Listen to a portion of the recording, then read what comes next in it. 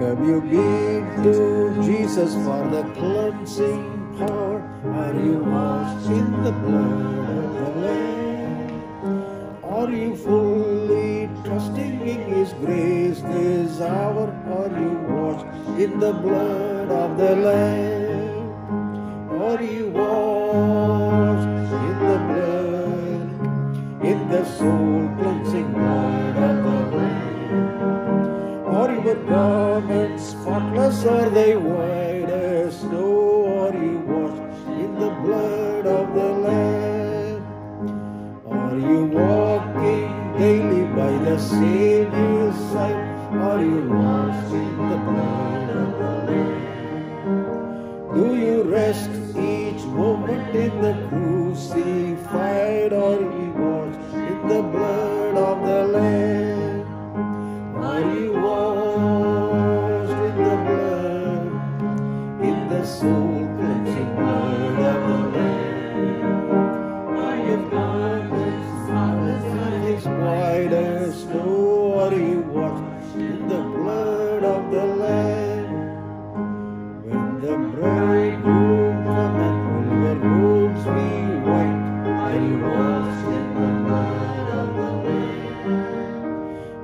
Soul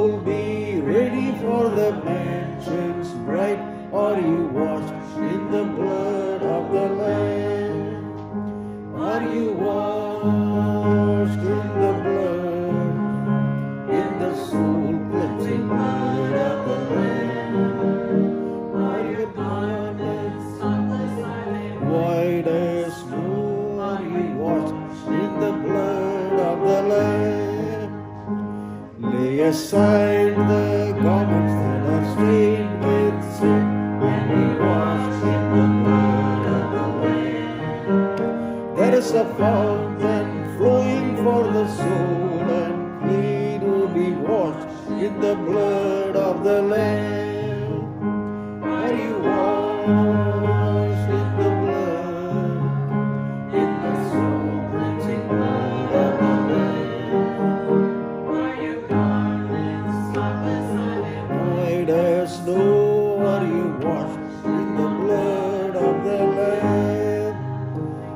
Look at the meaning of the third verse. When the bridegroom comes, will your robes be white?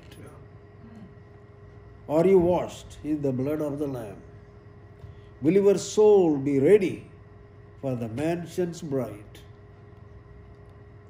We are taken right away to the mansion's bride when the bridegroom comes. The only thing is the garment of righteousness, the robes whitened by the blood of Jesus. A sin-sickened person can get a white garments after the cleansing of the soul by the blood of Jesus. Let's sing that again. That consciousness of being bought by the blood, washed by the blood. Yes. The bridegroom cometh, will your robes be white? Are you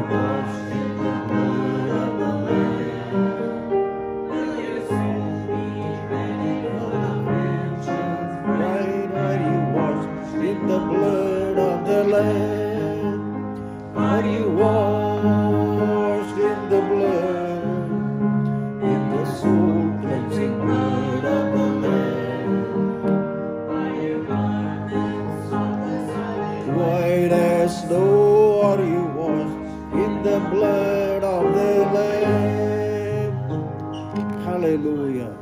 That is the secret of being washed in the blood and continue to acknowledge that we are bought and washed by the blood of the Lamb to overcome Satan by the blood of the Lamb and by the word of his testimony.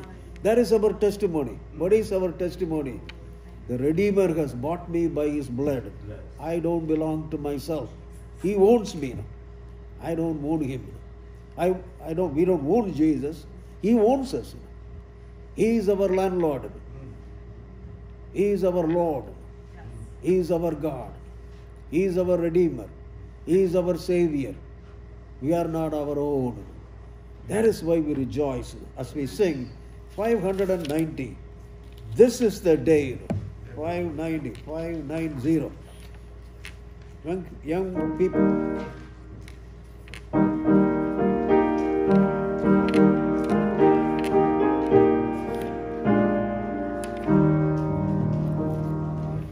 This is the day, this is the day that the Lord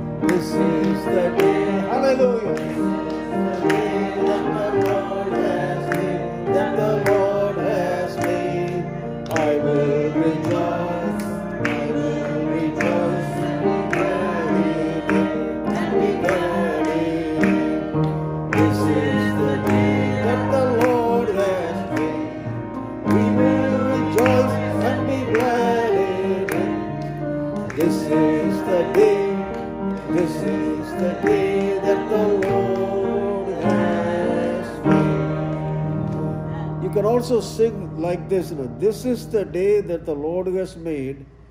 I will rejoice and be glad in it. I will rejoice. Take that we and put I. I means what? Me. You. So put that I in. I will rejoice. Not with a sad, frowny face, but rejoicing. I will rejoice. All right, let's sing. This is the day, this is the day that the Lord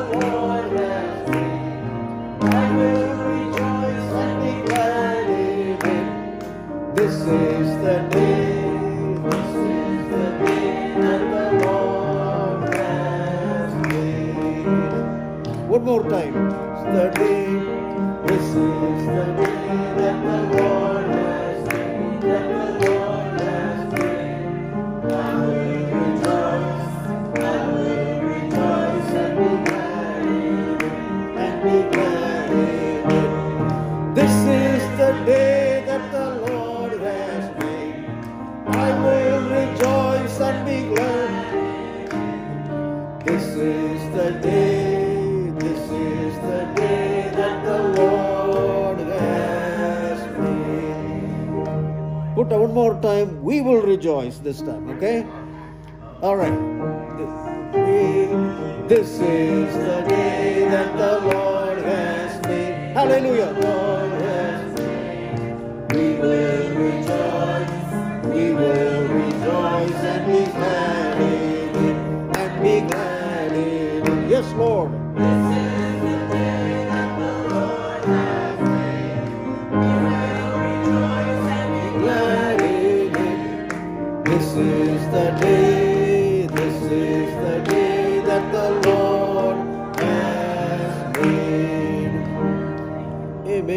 You can sit down. Jonah wants to come over here, right? Say it again. Right there, okay. You got to speak so loud.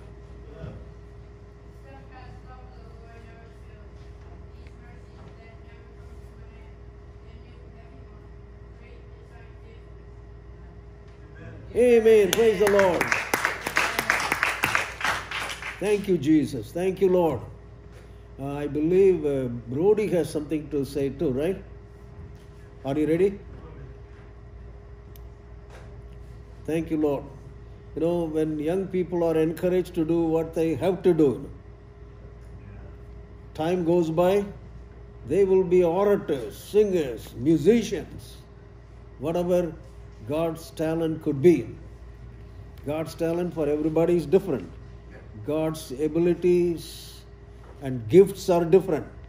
but they all for the same purpose to glorify God on the earth. And as we glorify His name using all our talents and all that God has given to us gifts, money, and everything, what happens? Let's give Him a hand. Praise the Lord.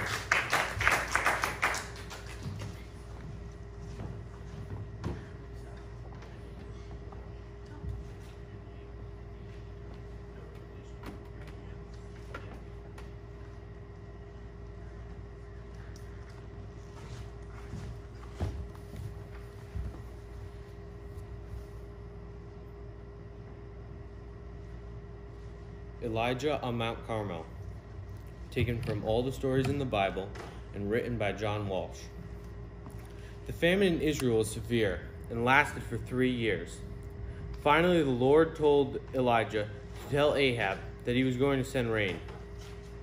The person in charge of Ahab's court was a man named Obadiah, who was faithful to God and even hid hundreds of the servants of God while Jezebel was trying to hunt them down. Now, one day, Ahab and Obadiah went walking to search for land for the palace livestock. They went in two different directions so they could search more land. Now, as Obadiah was walking along, Elijah walked up to him. And Obadiah fell down and said, Oh, my lord, Elijah. And Elijah said, Go tell Ahab that I am here. Elijah, Obadiah was shocked. He said, What have I done that you want me killed? The king has searched for you across the whole nation and even in other countries. As soon as I tell him that you are here, he, he will kill me. No, as soon as I tell him that you are here, the Lord will carry you off to some other place. And then when he finds out that you are not here, he will kill me. Please don't do this to me. Then Elijah said, As the Lord lives, I will meet with Ahab today. So Obadiah went and told Ahab. When Ahab saw Elijah, he said, So there is the man who's destroyed Israel. Elijah said, No, it is not me, but you who has destroyed Israel. You've turned your back on God and now are serving Baal. Gather the prophets of Baal and of Asherah and on Mount Carmel, along with the Israelites. So once Ahab had gathered the prophets and the Israelites on Mount Carmel, Elijah started by saying, How long will you go back and forth? If the Lord is God, serve him. And if Baal is God, serve him. But the people said nothing, but just stared at the prophet. Then he said, Look at me. I stand here as only one prophet. But look, there are 450 prophets of Baal. Give us two bulls. They'll take one, prepare for a sacrifice, and put it on top of wood. But they won't put fire to the wood. I'll do the same. They'll call in the name of their God, and I'll call in the name of the Lord. The God who lights the fire, he is God. The people said, Yes, that sounds fair. So Elijah told them, You can go first. So the prophets of Baal prepared the sacrifice and put it on top of wood. They called out all morning until noon. They even danced around the altar, but nothing happened. Elijah started to mock them. Maybe you need to shout a little louder. Maybe your God is sleeping and you need to wake him up. Maybe he's gone to the toilet. So they shouted louder and cut themselves until blood, blood, until blood gushed out. But nothing happened. Then Elijah finally built an altar out of 12 stones, one for each of the tribes of Israel. He prepared the sacrifice and put it on top of wood and dug a trench around the altar. Then he told the people, Get some water and pour it on the sacrifice. And once they had done this, he told them to do it a second time. And once they had done it a second time, he told them to do it a third time. And once they were done, the sacrifice was totally wet and the trench was full of water. Then Elijah walked up to the altar and said, Lord, God of Abraham, Isaac, and Jacob, answer me so that these people will turn back to you, and they will know that I am your servant. Suddenly fire fell down from heaven and burned up the sacrifice, the wood, and the twelve stones. It even licked up the water that was in the trench. Then the people fell down and shouted, The Lord, He is God! The Lord, He is God! And then Elijah ordered, Grab the prophets of Baal, do not let any of them escape. So the people grabbed the prophets of Baal, and Elijah killed all of them.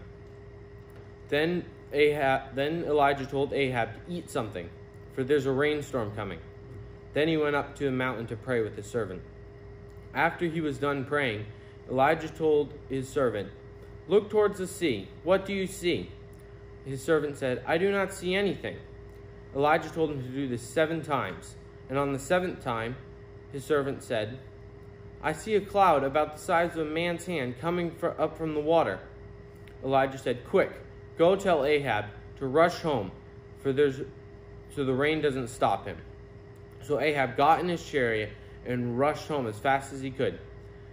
Shortly after, there was a, the sky became dark, and a downpour of rain began. And the power of God came over Elijah, and he ran faster than Ahab's chariot and arrived in Jezreel before him. Thank you.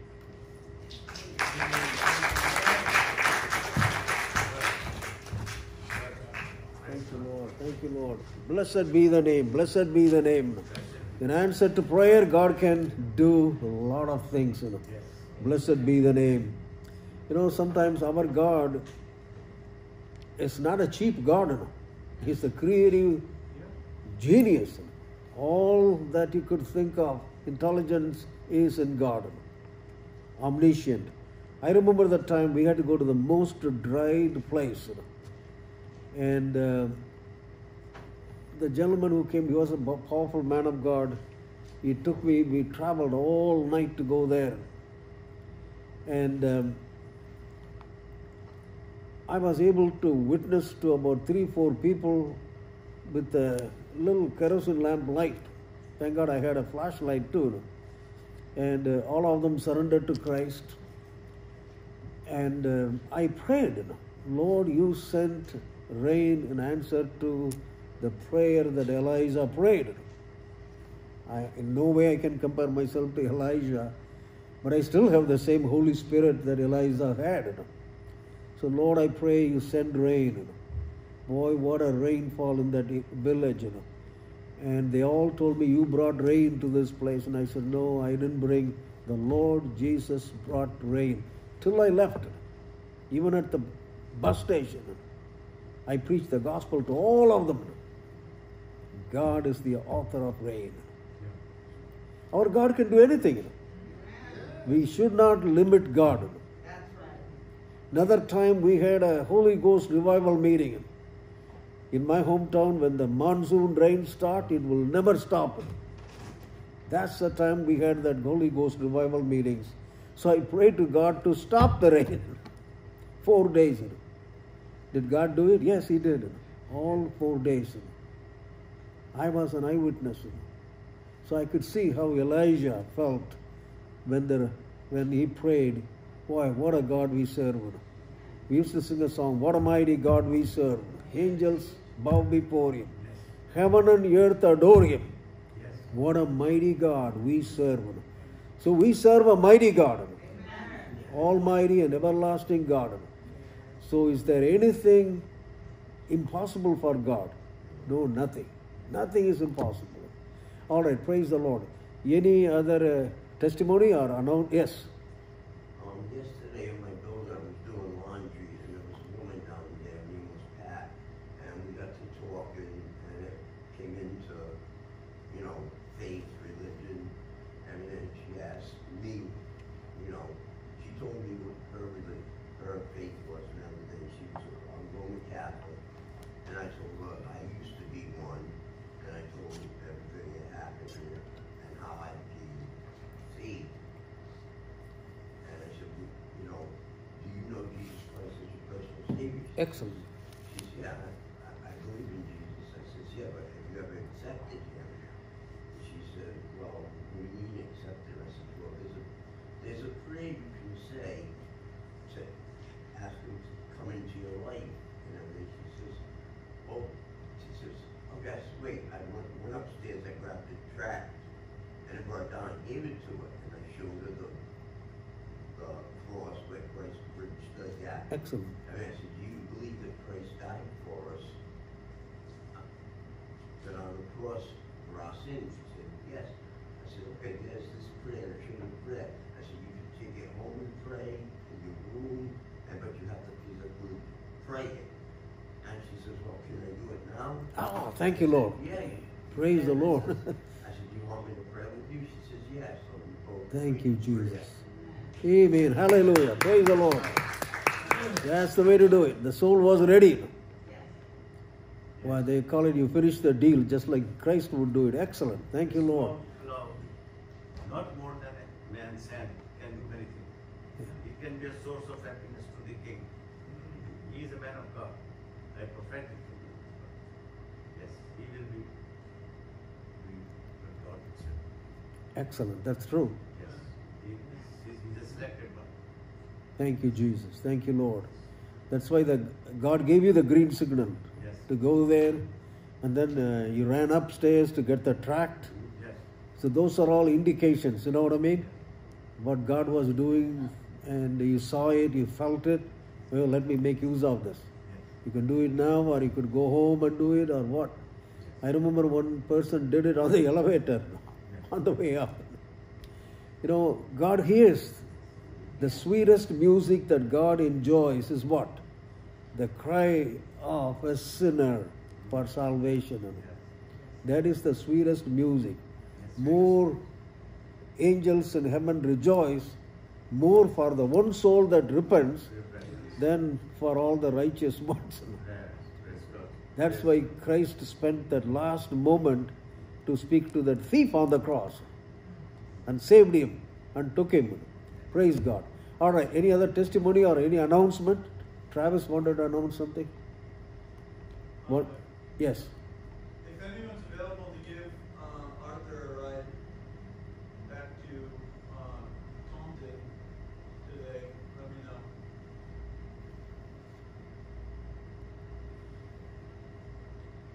We can talk after, and I feel like there. All right, thank you. Blessed be the name. Come on in, praise the Lord.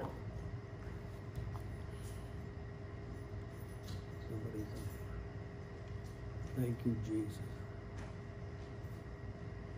Thank you, Lord. Welcome, praise the Lord. How are you?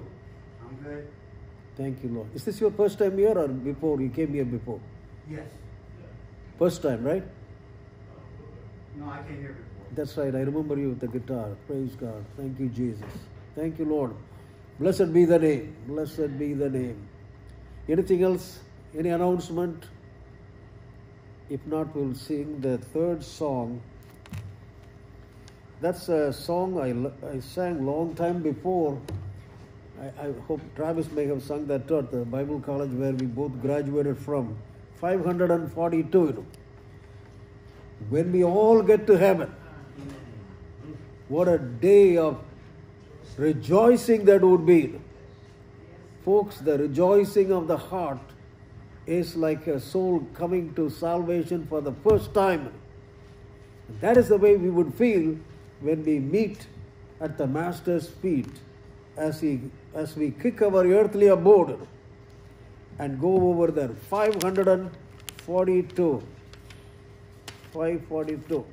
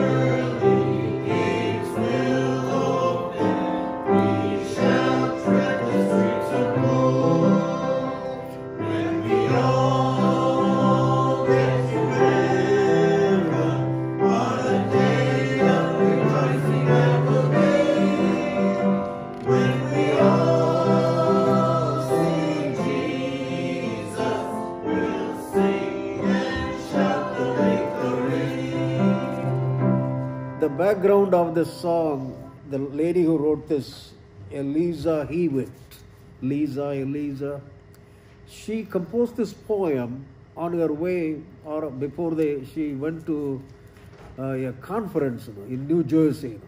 you know. And uh, she always went there every year along with her friend by name Emily. And it was like a mountain top experience. What does that mean?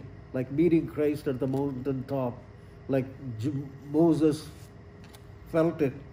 So that's what she expected. know. So she composed this whole song.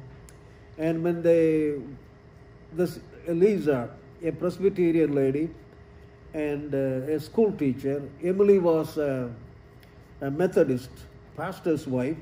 But anyway, they were there, both lived in Philadelphia, so they used to go once in a year. So it was always a heaven on earth experience for them at the conference. A lot of kids love that camp experience. Oh, I met Christ there. Similar.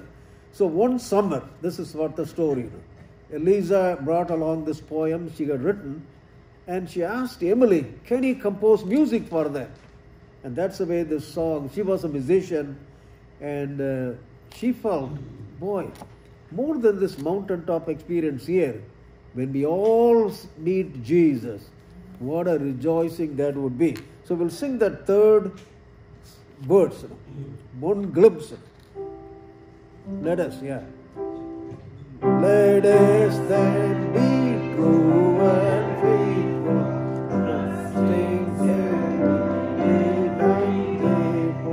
just one glimpse of Him in glory. Will the toils of life repay when we all get to heaven? Hallelujah. When we all see Jesus, we'll sing and shout the victory. Hallelujah. We can shout the victory when we all have a glimpse of Him. Just a glimpse. What a wonder it's going to be. Blessed be the name of Jesus. Thank you, Lord. Thank you, Lord. All right, we are going to have the word of God now. Um, Brother Edwin, would you like to ask a word of prayer? Yes. You want to pray? Yes. And so- Heavenly Father, we are thankful to you to good for us to come to a throne through our Lord Jesus Christ. I know you are going to speak to us. yes, Lord. We can have see our feet, we can see our salvation, we can see our spirit. So it strengthens us to the word of God. We are yours. Your word is substance. Live it. We are ready to it in the name of Jesus. Amen. Thank you, Lord. Thank you, Jesus. It's a very simple message the Lord has been brewing in my heart to speak as to the effect of what God's word can accomplish when we minister under the anointing of the Holy Spirit of God. There is always something that God wants to do you know, in His way for His glory. I was thinking about an anthropologist. What is an anthropologist? The study of man, study of human beings. He was doing some research in a village. While he was leaving, He had plenty of time waiting for a ride, like you always do. He wanted to give or teach a story through uh, kind of an incident, something he wanted to do, a practical thing. So he had a basket of uh, candies and everything, all candies and everything. Okay, Bill, you can sit. He had a basket full of candies and everything in it. He wanted to put it near a tree, and he did it. And he asked all the kids, you know, whoever runs fast will get all the candies and everything that is in that jar. I was looking at a candy jar this morning, beautiful jar. Boy, it could have had about four, five pounds of candy. I don't know how big the jar was. There were a lot of kids, so it looks like a big jar. Everything goes to one person who is the winner. But the key is you got to run as fast as possible and get the prize. So he told uh, all the young people, I want you stay all one line. And you, on your mark, get set, go. As soon as they say go, everybody, you got to run. And whoever wins the first prize is the fastest runner. So he said, on your mark, get set, go. At that point, you know what they all did? They all joined hands with one another and they all ran together. And they all ran together. That's amazing, right? Just the opposite of what you would think. And it's always rejoicing to get all the candies yourself. But for some reason, all these kids, they all ran together. So that really made him think, you know, why would they do, do, do this? So he asked, how come that you all ran holding each other's hand? you know? One girl re- replied, you know, I don't want all the candies for myself. I want everybody to rejoice. I want everybody to have the same joy of receiving the candy. I was thinking about my own situation back home in my ninth grade. The headmaster came and he had a huge jar of candies. And he announced, he read everybody's name who got all the subjects passed and all those who failed. One subject they failed. They got one blessing with a nice cane. you know. One, two subjects failed, two. Three subjects, three. Four subjects, four. And then he went above and above. you know. I said, oh, I don't know what I did. Then I knew, oh, I'm never above the cave of destruction. So I passed everything. Thank you, Lord. I, I didn't pray, thank you, Lord. I didn't know the Lord at that time. I was an atheist. I don't know how I did it. I used to say, thank goodness.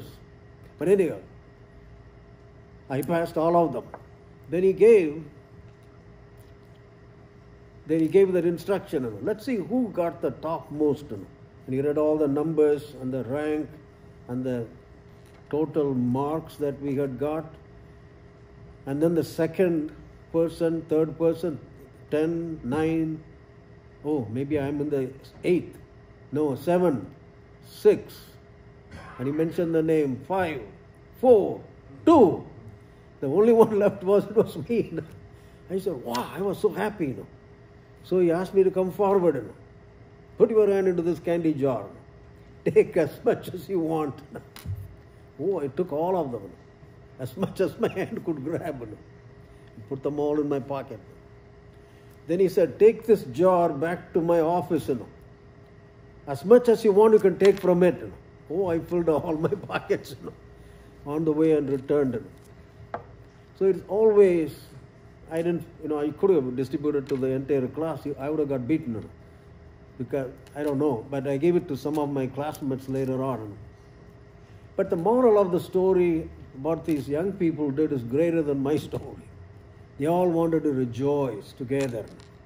There is always something You know, a father told his son Job, there is more that you can learn by uh, by your best friends you choose. You know, so love your neighbor. It came under that. This is the quote. You know, and he said, you know, there is more you can do. You know, best friend. You know. Joe, good friends are one of life's greatest treasures. What is your life's greatest treasure? If you have a good friend. he used to say always, you know, a good friend is always the best you can have. A friend in need is a good friend indeed. Have you heard that? a lot of them. You know. United, we, the, in unity there is strength and all that. Jesus said, uh, "He who gives his life is the greatest friend." Jesus is our greatest friend, and He gave His life for you and for me. So I was thinking about the story in the Gospel of Mark, the second chapter. This man had four friends. This man had four friends. I don't know much about the story, about the four friends, but they wanted to do something for him. They wanted to do something for him. Jesus was preaching in a place, and it was a multiplied people always, multiple people would throng, a thronging crowd, pressing toward to reach the house. People outside everywhere. That is the situation. Suddenly, Christ was preaching, the lots of kids were there, young people were there. Suddenly, they all looked up to the roof. It was a distraction. Jesus stopped preaching and he looked up. There were four people letting go of a bed where there was a man lying there. He was a cripple.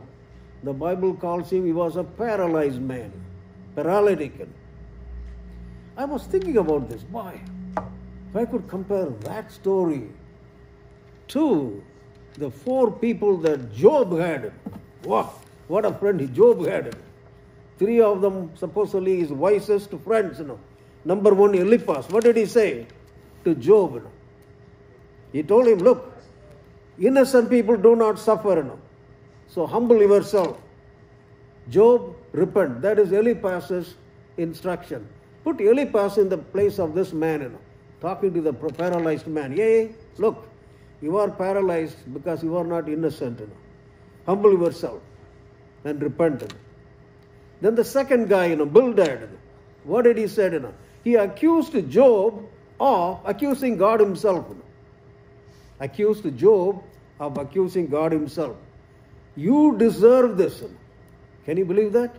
Imagine the second friend telling the paralytic, Yeah, you deserve this. We are not going to take you over there. You go through this. You are making a mockery when you say that I'm going to appeal to God. Job, don't do that. That was the second companion. The third one, you know, Zophar, you know, he went very high. He went so far. so far went so far to say that you have rejected God. You have rejected God. By questioning God's justice, you are rejecting God. So, my friend, Job, Zophar was saying, get right with God. This is what you got to do. All these three companions, these were his best friends. And they made it everything simplistic, you know. They had their reserved understanding. Then finally, you know, there was another gentleman by name Elihu. He was the youngest. He was listening to all these three people talk to Job. You know.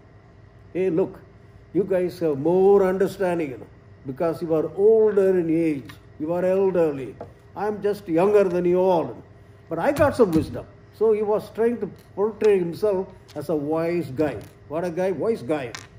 And he was saying, Hey, Job, you are self righteous and indulging in self justification. You know.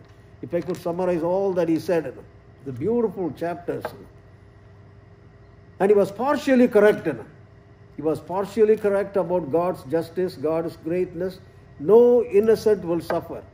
No person wise of heart. You know. He talks about it. You know. No person in chapter 37 34, God shows no partiality to anyone who are of wise of heart. And what does that mean? If you have wisdom in your heart, if you are a wise man, God will not punish you. But by asking God to do what? Accusing in an accusatory way, you are rebelling against God. You know. Your rebellion adds to your sin, Job. Don't do this. You know. See, these are his ways of saying that God will not punish a person who is wise. So, in other words, Job, you are not wise. And you are also not, not only that you are not wise, you don't have knowledge. So you are devoid of wisdom and knowledge, you don't have wisdom. Imagine that these four people meeting this paralyzed man and telling him, it is like a gang attack. Don't you think so? Four people talking to this paralyzed man. They, are, they were not part of a solution, they were part of a problem. But God wanted people in this world to be a part of a solution. You know. We are all in this together. You know. We all belong to this society called humanity. We all belong. You know. So we have to pray for one another. We have to help one another where there is an absolute need, you know, without any exploitation whatsoever. That is the key. You know. Here, this paralyzed man was not trying to exploit anybody. He was in this condition. You know. He had a goal in his life, like our Pastor Edwin would say. He had a target in his life to get healed. You know. Just like the man sitting at the uh, place where Jesus went to him at the Bethesda. The, and would he like to be healed? Of course, you know. He was pressing toward the mark of the price of his healing. You know. Didn't want to give up. Endurance, you know. Etc. He had that motive, you know, good motive. But anyhow, so here all these four companions, Job's companions, they indulged in a gang attack. You, know. you wonder, you know, did they do anything about it? They knew, they believed in God and this and that, but they did not pray to God. You know. Did they pray for Job? No, not at all. Job needed sympathy, you know. 19th chapter talks about it. Hey, friends, all that I want from you sympathy, you know. 1921. Pity me, pity me, oh, you, my friends, you know. But they were so simplistic, you know. And uh, Job wanted only one thing, you know God to hear him, you know. God to speak for him, God to intervene. You know. But they didn't want to do anything about it. And Job also confessed, you know, I am not perfect, you know. What does that mean? Job is not pure. Chapter 9 and 10, you know. So this is the way the world is. These four companions are not companions. The three are his best friends, supposedly. They had more accusa- accusation against Job than he could think of. You know, that is why you would see God in the end trying to take them into task. Look at these four people. They wanted to be part of the solution. Wouldn't you like to be a part of a solution? Not a part of a problem? That's the kind of people God wants. And they were working with God in bringing this paralyzed man, paralytic, but they couldn't enter the door. Let's read from the Gospel of Mark, second chapter. Now it will make much more sense to you now that I have given you a little bit of the background. The Gospel of Mark, second chapter, how Peter saw it. I don't know what the disciple thought about it. The kids were all looking up. What happened? The roof. They were starting to remove the roof one by one, one little piece after the other. It was easily removable pieces on the top of the roof. Mark, second chapter. Let's read it. As we read it here, the scriptures tells us. Mark, second chapter. And again he entered Capernaum after some days, and it was heard that he was in the house. Immediately, Mark is always aggressive. Many gathered together so that there was no longer room to receive them. Not even near the door. Can you believe that? They call it packed and jammed. What did Jesus do? He preached the word to them. Very important scripture. Jesus always preached the word. He himself was the embodiment of the truth, the word. In the beginning was the word, and the word was with God, and the word was God. Why did Jesus come to preach the word?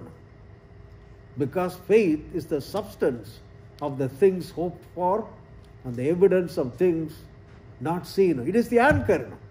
God cannot do anything without His word, but God will do everything for His word. So He preached the word. And when they could not come near Him because of the crowd, oh, then, then there came to Him bringing, then they, the four people, came to Him bringing a paralytic who was carried by four men. How many? Four people. They are not Job's friends, you know, thank God. You know. These are not Eliphaz and all the others, all the way to Elihu. You know. When they could not come near him, they were really motivated because of the crowd. They uncovered the roof where Christ was, where he was. So when they had broken through, they let down the bed on which the paralytic was lying. They let him down. When Jesus saw their faith, Faith. wow, faith in action. Faith and action We don't know. Yes, Jesus saw their faith. When Jesus sees your faith and my faith with in action, Jesus has to re- respond. You know. When Jesus saw their faith, he said to the paralytic, you know, Son, see, he accepted him as his child, and his son. Your sins are forgiven you. Only God can do that. And some of the scribes, the writers, were sitting there and reasoning in their hearts why does this man speak blasphemies like this? Who can forgive sins but God alone? Who can forgive sins but God only? That's true. But here is God. Here is God, the same God who intervened in Job's life, the same God who intervened in Mount Carmel, the same God who intervened in uh, opening the Red Sea, River Jordan, bringing all the Israelites out of Egypt. The same God is in Jesus. And He's the same God. I am the Lord, I change not. One God in three, and three in one. Praise God. And that God is in action here. And they could not see God in Jesus. They did not see Him as the Lord God. They couldn't see it. Their eyes were not opened up because they could not listen to God's word. But immediately when Jesus perceived, Jesus perceived. What does that mean? Jesus knew their thoughts. What you are thinking, Jesus knows. Even exactly at this moment. God knows every one of us what you are thinking. Everyone thinking in the whole world, God knows it. Why is how come? He is the omniscient God, all knowing God, omniscient. So Jesus perceived in his spirit that they reasoned thus with themselves. Then he said to them, Why do you reason about these things in your hearts? Why do you think that God alone can forgive sins and not me? I am God here. Which is easier to say to the to the paralytic? You know, he posed a question. Come on, you guys are wise. Let me see. Who can solve this? Which is easier? Which is easier to say to the paralyzed man, Your sins are forgiven you? Question number one. Can you tell the paralyzed man, Your sins are forgiven you? Yes, anyone can say that. I can tell somebody, Your sins are forgiven. You can tell somebody else, say, Your sins are forgiven. Don't say the sinner's prayer and all that. Don't call upon the name of the Lord. Just drop some money. I'll pray for you. Your sins are forgiven. Go in peace. Anyone can do that. Anyone can do that. That's why every person has to meet with God and Him alone. Because God alone can say, Your sins are forgiven. That is where there is no mediation between God and man except the man Jesus Christ. There is only one mediator between God and man. Who is he? The Lord Jesus Christ. Jesus Christ. That is why he said, I am the way, the truth, and the life. No one comes to the Father but by me. That is why we are like lamp posts, lighthouses, pointing toward Christ and Him only. So no one can say your sins are forgiven. It could be easier for anybody to say that, but the sins are never going to be forgiven. But when I say sins are forgiven because I am God, I am the second person of the Trinity, because I am going to die for their sins. So Christ hadn't, at this point, given his life on the cross, but he was still able to do that. Your sins are forgiven you. Or to say, arise, take up your bed and walk. This is what fascinated me about Christ when I was an atheist. Only Christ could talk to a crippled man, get up and walk. All the doctors put together in the world, they cannot tell a crippled man, rise up and walk. You can ask some people, can any doctor tell a patient who is a cripple? They can only imitate a cripple. My wife was telling the story of a dog walking like a limp, limping dog, you know, because the dog's owner was limping. You know. So the dog also started limping. You know. He couldn't understand that. Why does this dog is limping? You know? So he took it to the vet and found nothing wrong with it. Because the dog, when it is running all by itself in the yard, it runs. But he's, when he's walking with the master, he walks like limping, you know, like the master himself. Why? You know? Because he wanted to identify with the master. So the vet said, No, nothing wrong with the dog. The dog is so sensitive to you. So he wants to walk like you do. Imagine that? The dog wanted to be sympathetic, you know, not like the Job's friends, you know, totally unsympathetic, you know, very sympathetic you know, toward the master.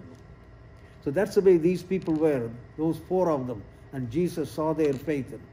But the Pharisees, the scribes here, the so-called uh, Jewish leaders, writers of the law, they couldn't see it.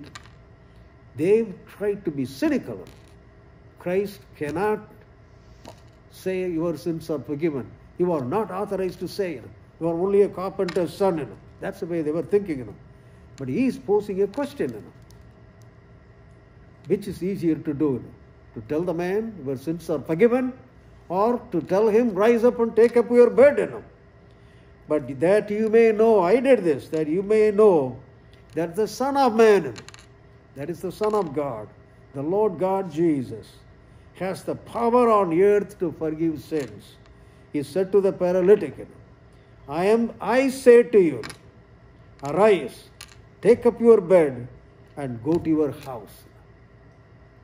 Arise, I say to you, rise up, take up your bed, and go to your house. What an authentic word. The creative wonder of God's word that could make that man rise up and walk. And Christ did it. That is why He is God. Our God can do what no other person can do. You know. I was listening to a story of a lady. Her name is Helen Bahani or something in Eritrea. Uh, I heard it on the Voice of the Martyrs. They put her in a container, ship container, and beat her up, black and blue, and they told her, if you renounce, if you say, I don't believe in Jesus, we will let you go. No matter how much they beat her up, she wouldn't say it. Every day they bothered her. Helen said no. Then one day they beat her so badly, and she couldn't bear that anymore. Even then, she was singing with the songs. There is a book on it, The Songs of a Nightingale by her. I may be able to buy that book and read it. What a story. I have seen some people paral- uh, persecuted in India. Brother Edwin may have seen many of them, Muslims coming to Christ. Oh, it is a story that, you know, very pathetic. Someone told me, you know, can you help this girl and bring her out of Pakistan? She's a Muslim, given her heart to Christ. Can you help her? I don't know how to help her. I would love to. But there's a legal side to it. and all the other sides. But if I can, I will definitely do that. So I've been praying for her. There are a lot of people in problems, persecuted. them. So what Helen did was she prayed for the people who were beating her every day. Can you do that? Yes, she prayed for them. She loved them. Lord, you forgave these people. Oh God, forgive them. Then ultimately she was released. Now she is praying for all the others. When I heard that, I can't believe this. Three pastors in jail today in Eritrea, in Africa. Three pastors. Unbelievable. So, for the sake of the gospel, why is, reported. brother? These are reported. There may be many. Many unreported cases. Many are there and unreported. They are there. That is why prayer, lots of people were in prayer for Helen and they wrote to the government, please let her go. So the voice of the martyrs are announcing on the radio this morning, please write to the government to release those pastors. There is a moral responsibility all over the world. There is a gospel resistance everywhere, even in this country. More resistance. But they don't throw you in jail, but sometimes they do. There were times they did that here too. But much more freedom here, but you never know. But the long and short of the matter is, we are facing a world that is not gospel friendly. Gospel friendly. These are The last whole. days. Say it again. These are in the last days. We are in the last days. That is why all these things are happening. And uh, come to the Bible study this Thursday. Brother will share a little bit more But what happens when a. no, I don't want to say anything on that line here. It's all recorded. Praise God. God is a good God. So we need to be prepared for what God is doing in our lives. What God can do through you or me anywhere. I remember that time. The ruling party at that time, I believe, I didn't know they were the in India at that time. I stood right in front of their place, you know, headquarters, passed out 1,000 tracts. you know. Later, those people in that part of North India, they told me, you know, the pastor told me, where did he go today? I said, Uncle, I used to call him Uncle. I went to this place. Oh my God, stood there. Nobody saw you? No, nobody saw me. That is the headquarters of this party. you know. They are the killers of Christians. you know. How did he escape? It's a miracle. The Lord protected me. you know. You talk about the angels of God protecting you. in Psalm 91. you know. Blessed be the name of Jesus. So God, our God is on our side. You know. Knowing the source of the answer is the solution. You know. Knowing the source of the solution. And dealing with the problem is another part of the solution. And carrying the problem to the Lord Jesus Himself. All these three are needed. Knowing the source of the answer, dealing with the problem, and carrying the problem to the person who could solve the problem, and that is Christ. They didn't want to give up. Blessed be the name of Jesus. So, in that united way, they were able to solve the problem for this paralyzed man. That's why there is no one who can say anything against a significant, dynamic, impregnable, insurmountable miracle you know, that only our God can perform. You know. That is why there is a way to witness to people and tell them about the miraculous power of God who can do this.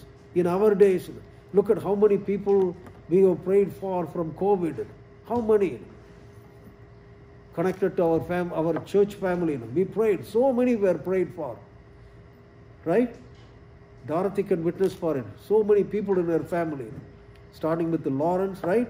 So many we prayed for. All of them were delivered from COVID. Blessed be the name of Jesus. Praise God. I never got the COVID. I think almost 99% didn't get it, right? Praise God. God protected us. The same 91st Psalm I preached here before the COVID was going to be rampant. No plague shall come nigh thy dwelling. I stood on that God's word. Lord, it should not touch our people. It should touch me. Even when the doctor told my wife, you have symptoms of COVID, go and sleep in the next next room. I said, No, I don't believe this. She didn't believe it either. She didn't believe it. She came back the very next day and slept next to me. Being my wife. I, I said, Lord, no plague shall come nigh thy dwelling. So I'm not going to say the doctor is trying to do the right thing. He didn't want the symptoms to spread. You can spare Paul. But God's word proved to be true. So I carried the problem to Jesus that day. Know, Lord, this is it. I don't believe that it's going to come. My body is the redeemed body. Satan, you are not going to touch my body. I rebuke you in the name of Jesus. You spirit of fear, I rebuke you in the name of Jesus. Lord, I pray, just like the paralyzed man was brought to Christ. I brought my situation to the Lord that day and my wife's situation. And then she didn't have any of the symptoms. The doctor thought that she got COVID. Isn't that amazing? That's why Uh, my car makes so many problems. So it's going to the mechanic tomorrow. Unbearable noise it makes. So I call the mechanic. Before I give the car to the mechanic, I always pray for the mechanic to take care of the car. Before I go to see a doctor, I pray for the doctor.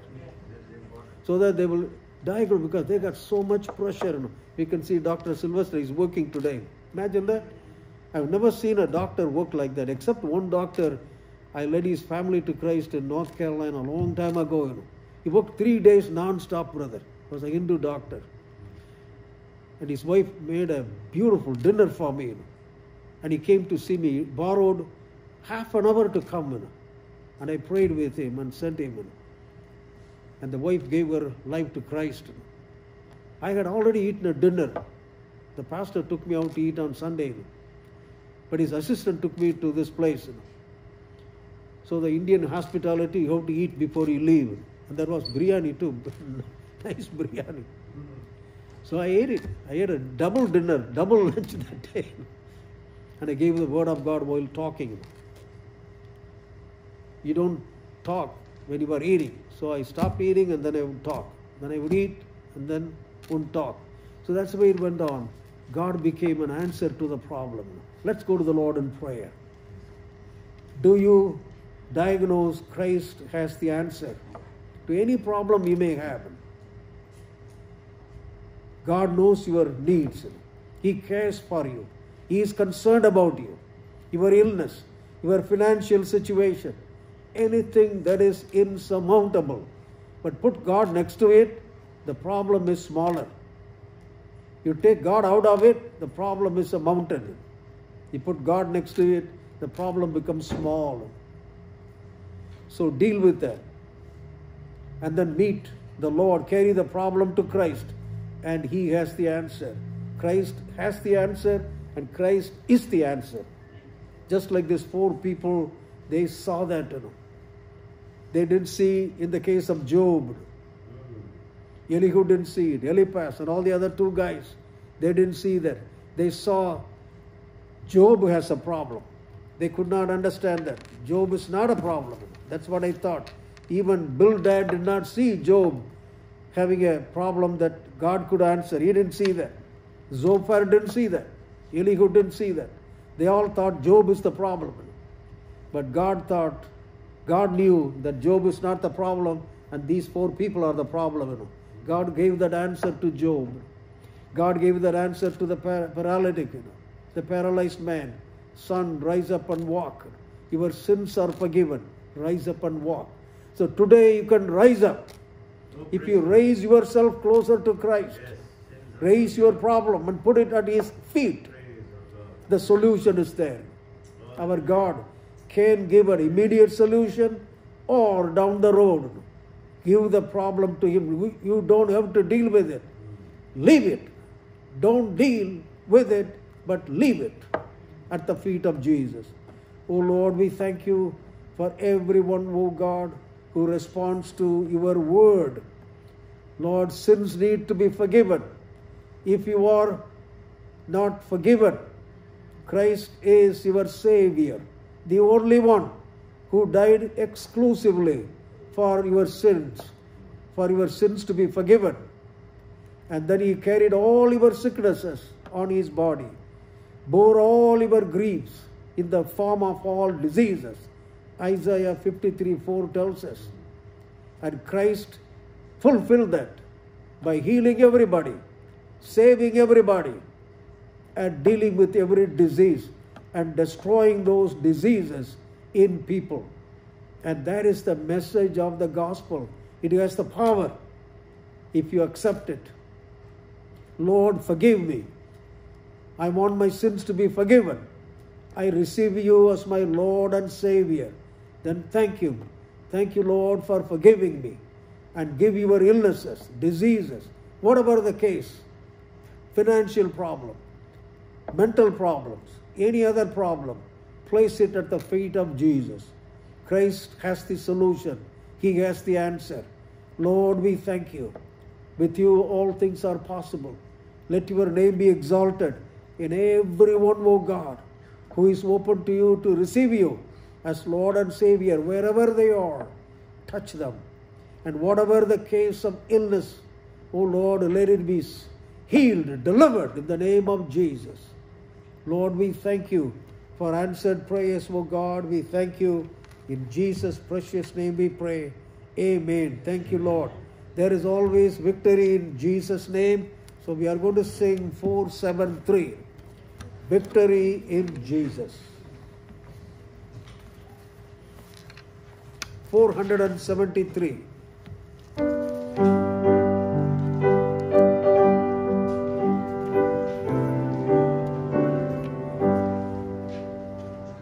I heard old story how a Savior came from glory, how he gave his life on Calvary to save a wretch like me. I heard about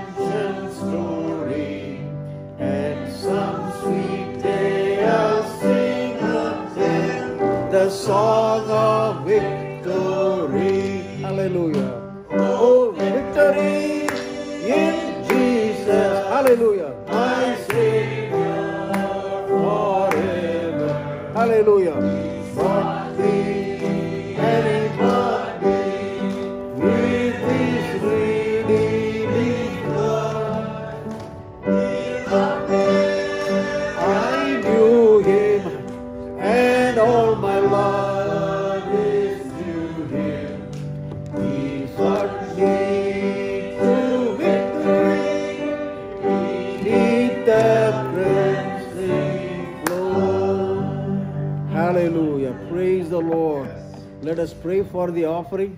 Who wants to pray for the offering? Maureen? You want to pray? Okay. Yes. Lord, we thank you for the camaraderie and love here this morning. Yes, Lord. And we appreciate everyone's donation so we can keep the church rolling and continue Yes, Lord. our quest to bring lost souls here. Yes, Jesus. May we spend the wi- the money wisely. Yes, Lord. And Praise God, we're all here this morning. The love is so strong. Thank you, Jesus. I say this in the name of Jesus. Thank you, Lord, for everything you've done for us. Yes. Thank you, Jesus. Thank you, Lord. May the peace of God and the power of God Jesus. and His presence go with you and me everywhere Yes. so that we can be, we can take the church outside the church to people.